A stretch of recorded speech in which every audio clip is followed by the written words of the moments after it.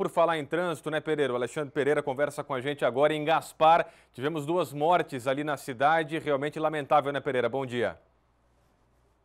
Do Maio Amarelo, infelizmente, a gente vem registrando esses acidentes. Foram identificados os dois corpos das vítimas de um acidente muito forte que aconteceu em Gaspar no final de semana. Uma batida envolvendo duas motos que resultou na morte de duas pessoas. Foi ali na Luiz Franzói, na margem esquerda em Gaspar.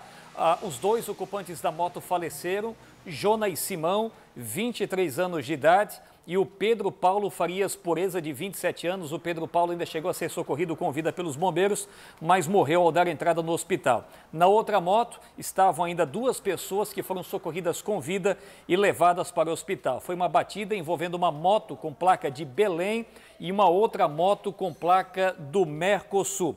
As duas vítimas identificadas, repito, Jona e Simão. O corpo foi liberado ainda no fim de semana para uma funerária de Bom Jesus da Lapa, na Bahia. E o Pedro Paulo Farias Pureza, de 27 anos de idade, morador da cidade de Gaspar. Infelizmente, o mês de maio começando com essas duas fatalidades no trânsito aí, portanto, da cidade de Gaspar, meu caro Rodrigo Vieira.